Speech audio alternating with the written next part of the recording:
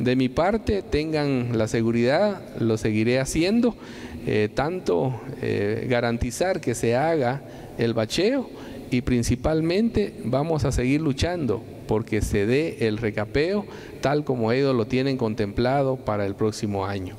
De igual manera, seguiremos también presionando para que en algún momento veamos concretizado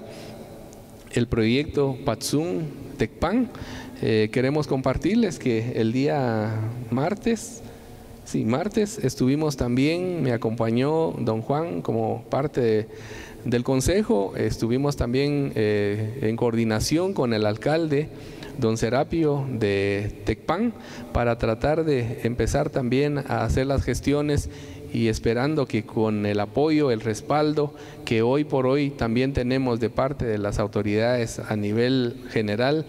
pues aprovechar la situación. Gracias a Dios tenemos la bendición de tener una excelente relación, una excelente comunicación con el alto mando, diría yo, que esperamos poder aprovechar ese espacio que Dios nos permite también poder aperturar con ellos. Eh, por lo tanto, pues yo esperaría que podamos ver eh, antes de que finalice este año eh, que nuestra carretera por lo menos se le dé el tratamiento necesario. Así que esa es la información que quiero compartirles para todas y todos,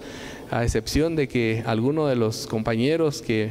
nos acompañó en ese momento quisiera hacer algún agregado, pues creo que tiene también la libertad de poder hacerlo.